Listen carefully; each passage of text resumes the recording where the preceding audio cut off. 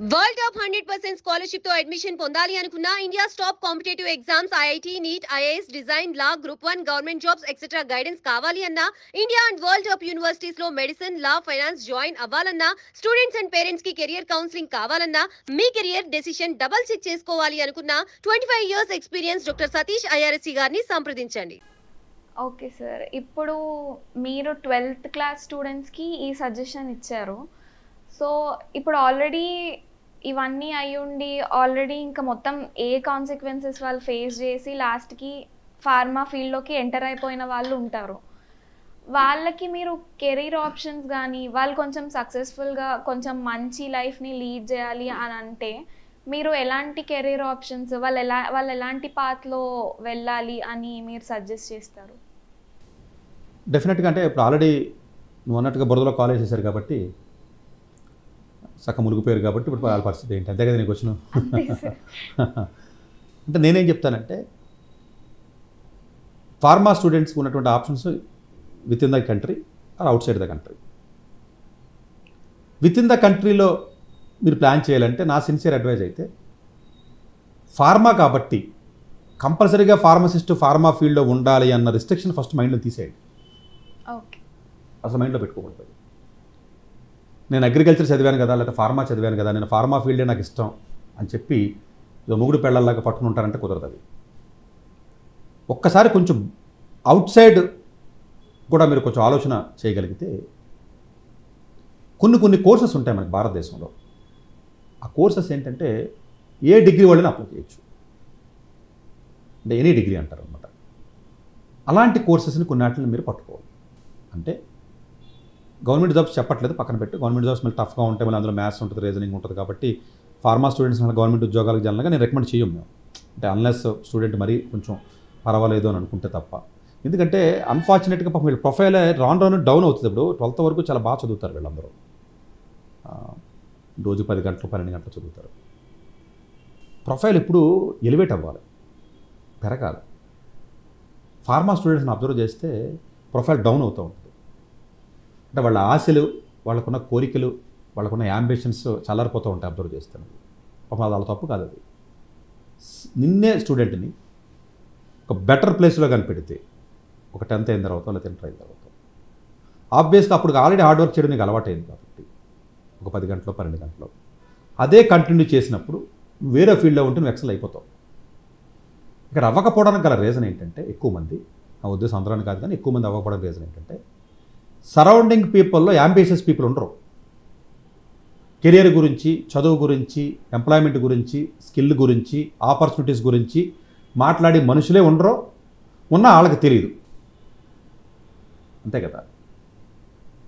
అందువల్ల ఏంటంటే place wrong అంతే. It's not I'm not talking about the student student wrong అన్నది కాదు ఇక్కడ డిస్కషన్ స్టూడెంట్ కరెక్టే బెటర్ కాలేజెస్ ఫార్మా లేవు కాబట్టి ఉన్నది రెండు రాష్ట్రాల్లో. రాంగ్ ప్లేస్లో ఉన్నాడు రాంగ్ ప్లేస్లో ఉండడం వల్ల తెలియకుండానే మనకున్నటువంటి ఏవైతే మైండ్లో మనకున్న కోరికలు లేకపోతే ఏదైతే ఉంటాయో అవి తెలియకుండానే ఆవిరైపోతూ ఉంటాయి. ఎప్పుడైతే ఆ ఆవిరైపోవడం స్టార్ట్ అయిందో తెలియకుండానే డిప్రెషన్లోకి వెళ్తాడు సీక్వెన్స్ అదంతా. వీళ్ళు ఏం చేయాలంటే నేను ఫార్మా కాదు నేను డిగ్రీకే వచ్చాను వేరే ఆప్షన్స్ కూడా ఎక్స్ప్లోర్ చేద్దాం అన్నది ముందు ఫస్ట్ థాట్ రావాలి ఫస్ట్ మైండ్లో అక్కడికి. వచ్చి ఎప్పుడైతే నీకు మీకు థాట్ వచ్చిందో దెన్ ఆటోమేటిక్గా మైండ్ సెర్చ్ చేయడం మొదలు పెడుతుంది. నువ్వు ఫార్మసిస్టు నేను ఫార్మా చదువుతున్నాను అని అనుకున్నంత వరకే నీకు ప్రాబ్లం వస్తుంది నీకు. అసలు ఫార్మా అనేది నేను చదువుతున్నాను ఓకే. ఫార్మా కాకపోతే ఏంటి నాన్ ఫార్మా సైడ్ వెళ్ళకూడదా అన్నది ఆలోచన మీకు ముందు ఎప్పుడైతే వచ్చిందో ఓ ఎస్. సరే ఏదైనా సీమ్యాట్ ఎగ్జామ్ రాసి మనం ఎంబీఏకి వెళ్ళొచ్చా? తప్పే ఉంది వెళ్ళొచ్చు కదా. సరే క్యాట్ ఎగ్జామ్ అంటే కష్టం. సిమ్యాట్ టు మ్యాట్ అనేది పెద్ద అంత కష్టమైన ఎగ్జామ్స్ ఏం కాదు. లేదు కొన్ని కాలేజెస్లో ఎనీ డిగ్రీతో జనరల్గా మ్యాథ్స్ చదవకపోయినా కూడా డేటా సైన్స్ లాంటి కోర్సెస్ కొన్ని ఇస్తున్నాయి. లేకపోతే ఎకనామిక్స్ లాంటివి కానీ ఫైనాన్స్ కోర్సెస్ కానీ ఇలాంటి కోర్సెస్కి వెళ్ళొచ్చు. అలాగే ఎవరైతే ఇంతకుముందు నేను ట్వెల్త్ చదవ తర్వాత డిజైనింగ్ కోర్స్కి వెళ్ళమని స్పెసిఫిక్గా నేను రికమెండ్ చేశాను. ప్రాబుల్ ఆ వీడియో వినకపోతే ఆ వీడియో విని వాళ్ళకి అర్థమవుతుంది. సేమ్ ఆప్షన్ ఫార్మా తర్వాత వచ్చి వస్తుంది.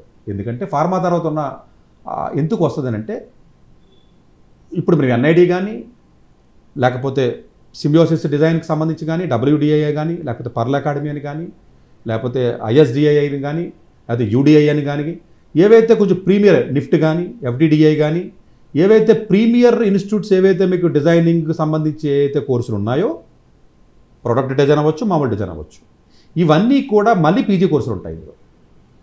మళ్ళీ ఆ పీజీ కోర్సులకి ఎలిజిబిలిటీ ఎనీ డిగ్రీ స్టూడెంట్ మళ్ళీ డిజైన్లో యూజీ చేయవలసిన అవసరం లేదు. అర్థమైంది నీకు? నువ్వేమనుకుంటావు? ఆ డిజైనర్డు కదా ఆడు అప్లై చేస్తే పీజీ ఇస్తారనుకుంటా? అసలు నాకు నేను డిజైన్ నాకు తెలియదు కదా డిజైన్ నాకెందుకు ఇస్తారన్న ఫీలింగ్లో ఉంటావు నువ్వు. కాదు. అంటే దాంట్లో ఉన్నటువంటి బ్యూటీనెస్ ఏంటంటే ఏవైతే జనరల్గా ఉన్నటువంటి కోర్సెస్ ఏవైతే ఉంటాయో అది ఎంబీఏ కానీ లేకపోతే ఇలాంటి కోర్సెస్ ఏవైతే ఉంటాయో ఫైనాన్స్ ఎకనామిక్స్ కాకుండా ఈ డిజైనింగ్ కోర్సెస్ ఏవైతే ఉంటాయో చాలా ఇన్స్టిట్యూట్స్ ఉన్నాయి మనకి ఇండియాలో మంచి మంచివి. పర్ల అకాడమీ అని చాలా ఉన్నాయి జీఓడిది ఇలాంటి అకాడమీస్లోకి ఎగ్జామ్ రాసి పెద్ద కష్టం కాదు కొంచెం ప్రిపేర్ అయ్యి కష్టపడి ఏదైనా బాధపడి అలాంటి వాటిలో దూరేది నేను ఫార్మా చదివాను కాబట్టి నేను ఫార్మా ఫీల్డ్లో ఉంటానన్నది మైండ్లో తీసేస్తే ఇవన్నీ అందంగా కనపడతాయి. అంతే కదా. నువ్వు మైండ్లో ఒకటి పెట్టి ఇంకొకటి చూస్తే అందంగా కనపడ్డావు అంతే. మనం అంతే కదా. ఒక- ఒక- పర్టికులర్ ఆస్పెక్ట్లో మనం ఎప్పుడైతే ఇన్వాల్వ్ అయిపోయాం మనం అయిపోయినప్పుడు ఆబ్వియస్గా మనం వేరే చూసినప్పుడు మనకి ఆ- ఆ ఇంట్రెస్ట్ కూడా క్రియేట్ కాదు అది. అంతే కదా. నేను నేను ఫార్మా చదువుతున్నాను నేను సివిల్ ఇంజనీర్ చదువుతున్నాను నేను మెకానికల్ ఇంజనీర్ చదువుతున్నాను అని ఎప్పుడైతే బలంగా మన మైండ్లో అది పెట్టుకుంటామో ఆబ్వియస్గా ఎదురుగుండా కనపడేది ఏది కూడా మనకు అంత అందంగా కనపడదు. అది తీసేస్తే డెఫినెట్గా ఈ డిజైనింగ్ కోర్సులు ఏవైతే ఉంటాయో ఇందులో చాలా ఉంటాయి. లిబరల్ ఆర్ట్స్ రిలేటెడ్ కోర్సెస్ కొన్ని ఉంటాయి కొన్ని ఫైన్ ఆర్ట్స్ ఉంటాయి కొన్ని ప్రొడక్ట్ డిజైన్ ఉంటాయి కొన్ని మామూలు అదర్ ఇంటీరియర్ డిజైన్ అని లేకపోతే కమ్యూనికేషన్ డిజైన్ అని డిఫరెంట్ డిఫరెంట్ డిజైన్స్ ఉంటాయి. చాలా కేటగిరీస్ ఉంటాయి. ఫుట్వేర్ డిజైన్స్ ఉంటాయి జ్యువెలరీ డిజైన్స్ ఉంటాయి లేకపోతే పర్ల్ డిజైన్స్ ఉంటాయి లేకపోతే ఆల్మోస్ట్ ఒక twenty twenty five different types of designs ఉంటాయి. ఆ కోర్సెస్ అన్నింటికి మరి వెళ్ళి వెళ్ళొచ్చు కదా.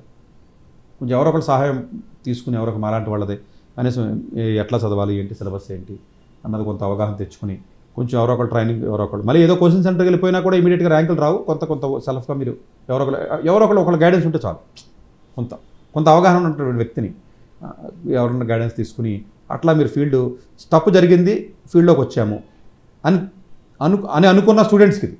లేదు నేను ఫార్మాలోనే ఉందాం అనుకుంటే ఇంతకుముందు మనం చెప్పినట్టుగానే. లేదు నేను ఫార్మా సైడ్ నేను క్లియర్గానే ఉన్నాను నేను. Still I'm very clear I want to continue in the pharma field అని ఎవరైతే అనుకుంటారో వాళ్ళకి పెద్ద ఇబ్బంది లేదు. వాళ్ళు ముందు నుంచే కొంత ఆన్లైన్ రీసెర్చ్ ఆప్షన్స్ కూడా ఇప్పుడు వచ్చాయి. ఒకప్పుడు అంటే లేవు కానీ ఇప్పుడు ఆన్లైన్ రీసెర్చ్ ఆప్షన్స్ కూడా ఉన్నాయి కాబట్టి ఆన్లైన్లో కూడా రీసెర్చ్ చేసి ఏదైనా ప్రాజెక్ట్స్ చేయడం కానీ లేకపోతే ఎలాంటి ఏదైనా ఇంటర్న్షిప్స్ కానీ చేసి కొంచెం ప్రొఫైల్ బిల్డ్ చేసుకుని ఫార్మా రిలేటెడ్ దాంట్లోనే మీరు వెళ్ళొచ్చు.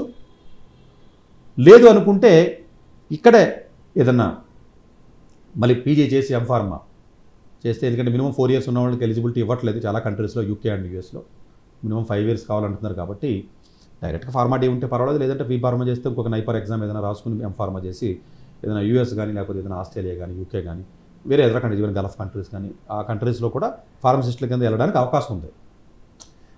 బయటికి వెళ్ళడానికి.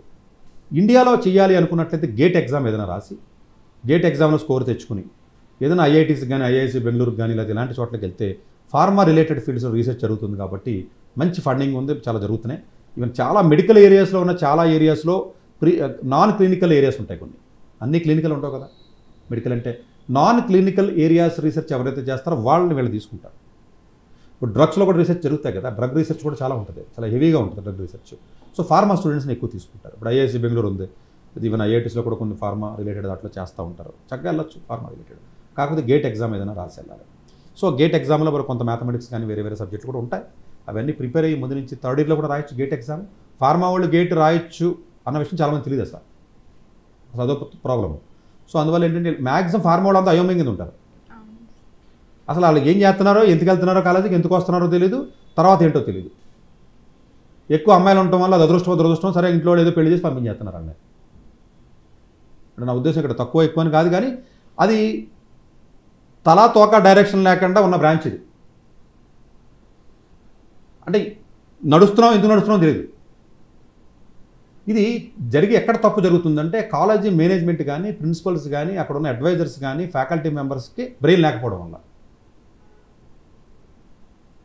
వాళ్ళకి బ్రెయిన్ వాళ్ళు అలాగే ఫార్మాలో ఎం ఫార్మాలు చదివి మళ్ళీ అక్కడ నలభై వేలకు ముప్పై వేలకు జీతం చేస్తున్నారు కాబట్టి. మీ ఫార్మా కాలేజీలో చెప్పే టీచర్ల జీతాలు ముప్పై వేలు నలభై వేలు మళ్ళీ పాపం.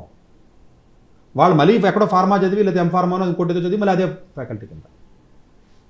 అంటే ఒక సివిల్ సర్వీస్ ఎగ్జామ్ ఎవరికి రా- దేనికి పనికిరానోడు రానోడు ఫెయిల్ అయిపోయి ఆడు కోచింగ్ సెంటర్ పెట్టి వంద మంది ఆడు ఫెయిల్ అయిపోయి వంద మంది ఫెయిల్ చేయడం తయారు చేస్తాడు ఈ వంద మంది మళ్ళీ ఫెయిల్ అయిపోయి ఇంకొక వెయ్యి మంది తయారు చేస్తున్నారు ఇంకో కోచింగ్ సెంటర్ పెట్టి ఇంకో పాఠాలు చెప్పి. అంటే ఫెయిల్ అయినోడు మల్టిప్లై చేసుకుంటూ వెళ్తున్నాడు అండి జనాన్ని పోగు చేసుకున్నట్టుగా. అంతే కదమ్మా. ఇప్పుడు ఒకటి ఫెయిల్ అయ్యాడు. ఆడికి పెద్ద కెరియర్ రా తెలియదు అడిగి తర్వాత ఒక తెలియదు ఏదో ఇబ్బంది పడ్డాడు.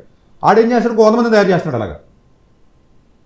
వీడికి అవగాహన ఉండదో వీడికి బ్రెయిన్ సరిగా ఉండదో చెప్పలేడు.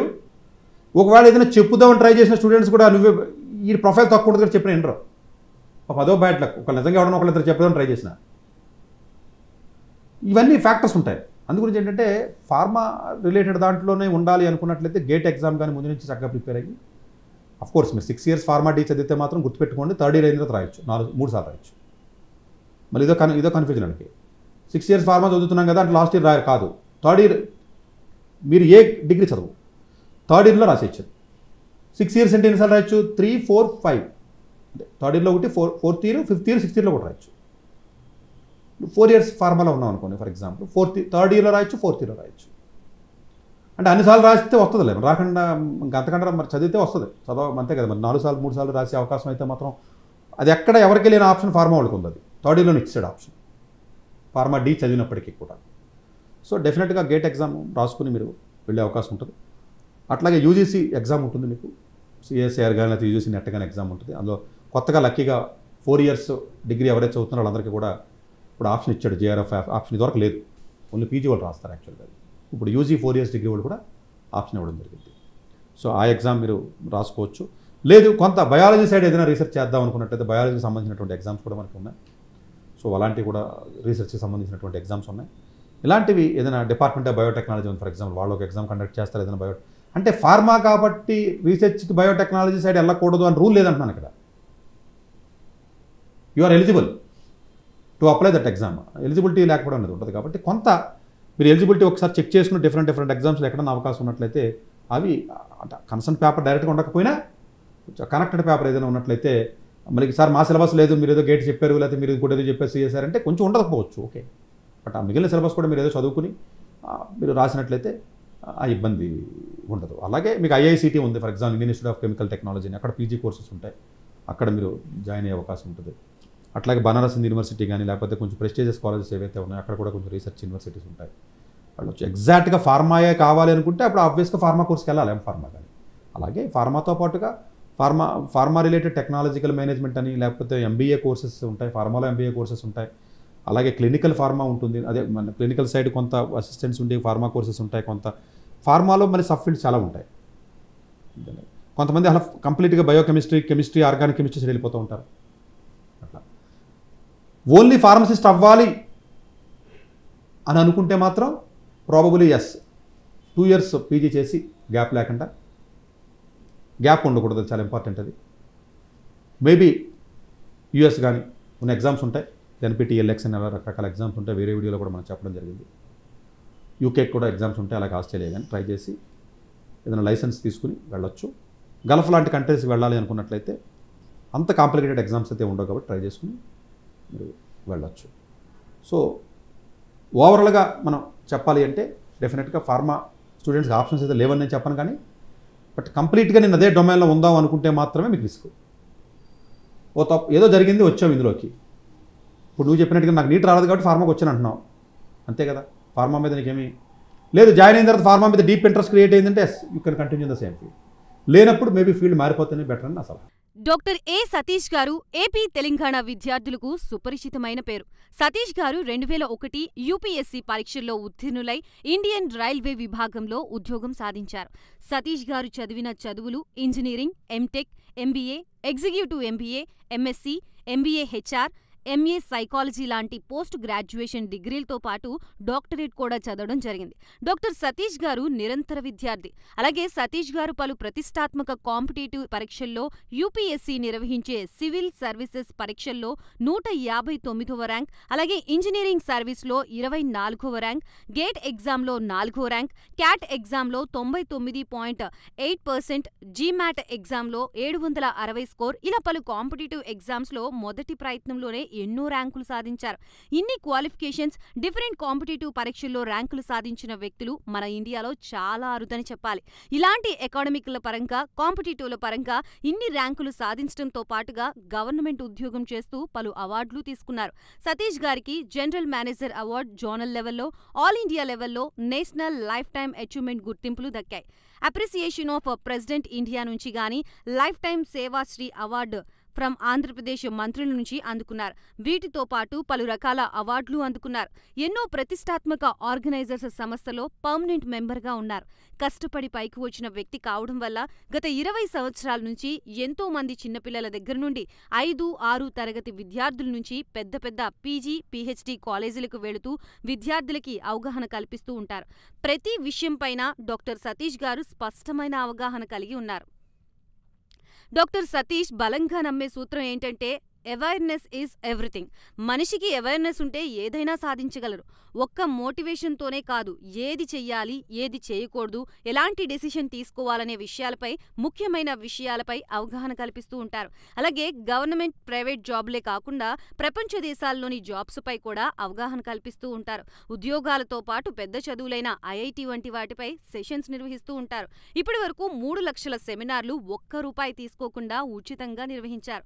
ఇందులో భాగంగా మన ప్రైమ్ నైన్ ద్వారా విద్యార్థులకి మోటివేషన్ ఇవ్వడానికి మీ ముందుకు వస్తున్నారు డాక్టర్ సతీష్ గారు.